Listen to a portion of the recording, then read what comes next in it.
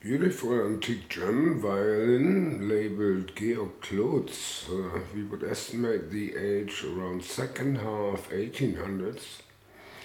The violin shows a one-piece maple back and a medium to fine grained spruce front. In our workshop the violin received a new setup with a newly fitted Elder Ebony pegs Elder Ebony chin rest and tailpiece, a new bridge and new strings.